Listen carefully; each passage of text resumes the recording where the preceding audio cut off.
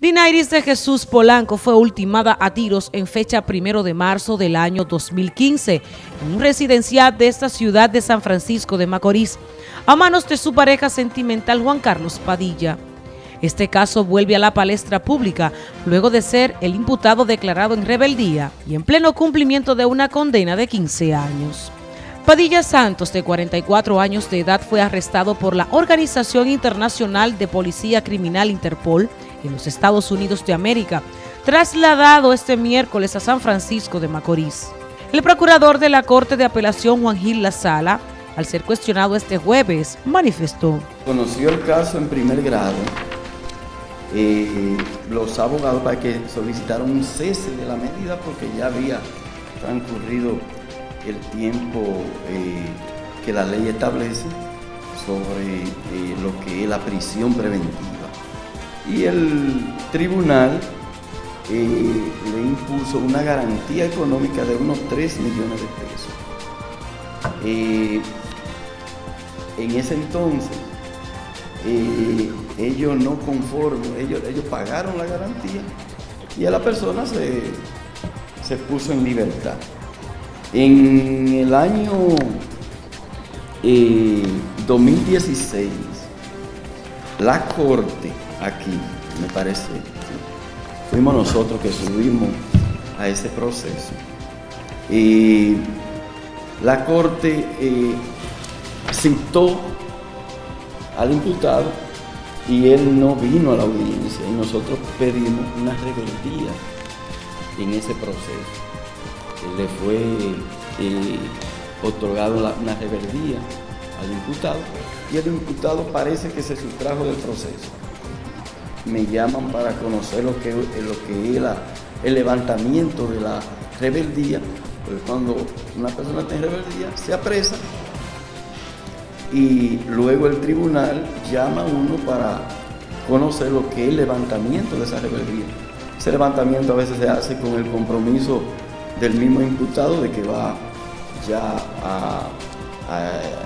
a ir a todos los requerimientos de la justicia pero nosotros como Ministerio Público vimos que él se había sustraído al proceso y adicional a la garantía de 3 millones de pesos, como ya era, fue un cese de la prisión preventiva, no procedía lo que era eh, la prisión preventiva. Nosotros pedimos una garantía adicional a esa garantía de los 3 millones de pesos, es decir, un millón de pesos más que es adicional a, los 3 millones de pesos que era la garantía que le habían impuesto en primer grado. Y la Corte eh, acogió esa solicitud. La persona está eh, en prisión porque no ha pagado la garantía y la audiencia fue fijada para el día 10 del mes de, junio.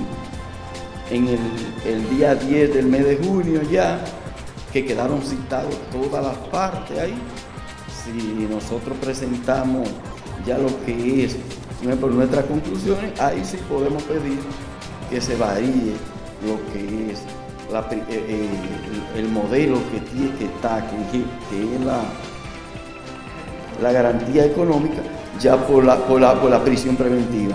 La madre biológica de la Oyotzisa niega que haya recibido dinero para frenar el proceso, como se ha ventilado un momento yo le digo a los abogados que quiero desistir de la civil y de la, y de la penal. En ningún momento eso pasó por mi mente. Desde que los abogados me hayan engañado, me hayan estafado, hoy te hayan puesto este expediente, como a ellos le da la gana, ellos lo hicieron y lo lograron, porque ellos lo hicieron. Ellos se burlaron de mí, jugan con mis sentimientos, sin saber el dolor que yo siento por la pérdida de mi hija reitera la justicia debe hacer su trabajo y enviar a la cárcel al culpable. Madre, tengo temor de que Juan Carlos Padilla haga la huida otra vez, como ya él lo hizo una vez. Eso es lo que yo le pido a las autoridades, que se haga justicia, que por favor, que por qué la vida de un ser humano aquí vale tan poco, porque Juan Carlos Padilla paga 3 millones, se escapa, se burla de la justicia, se va, lo agarra, lo Interpol, lo trasladan y ahora vienen y le dan otro premio con una garantía económica de otro millón de pesos. En medio del llanto, dice cómo recuerda a su hija. Ay, yo la recuerdo como ella era. alegre. Todo el mundo la quería ella. Eso era un muchacho grande. Usted le decía la cosa y ella se iba por ahí, venía otra vez como si no ha pasado nada, porque ella no era rencorosa. Ella era cariñosa, amorosa. Doña Ramona, la madre de crianza de Dinaris, afirma el proceso ha sido difícil. Muy difícil, sí, muy difícil.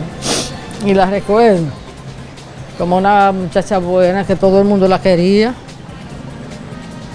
Joven, viejo, niño, todo el mundo la quería ella, porque ella no tenía maldad. Ella era muchacha muy sin maldad.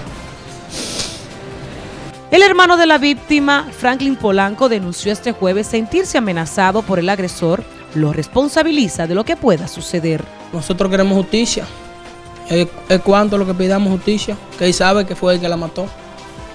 Que no quiera hacerse el inocente, que él sabe lo que hizo. Y a la justicia que, que tome carta en el asunto, porque le echaron 15 años, sale huyendo y vuelve ahora y le ponen lo mismo. Entonces, ¿en qué estamos? Claro que nos sentimos amenazados. Yo tenía tres años que no me sentía como me siento hoy en día. Tenía una paz, una tranquilidad en mi alma que era lo máximo. Ya ese señor está aquí, me siento suspenso, ando en la calle con miedo ya, atemorizado. Incluso esta mañana me llamaron ahí de un teléfono que a mí nunca me habían llamado raro porque el número que yo no tenga registrado yo no lo cojo y me llaman un señor y que es Celia, es Celia. Pero yo sé que ese señor que me está llamando, no sé qué es lo que quiere hablar conmigo. Yo no tengo que hablar nada con ese señor. Y cualquier cosa que me pase, ese señor es responsable. Será este próximo 10 de junio cuando nuevamente Juan Carlos Padilla deberá acudir ante los tribunales. Para NTN reportó Joanny Paulino.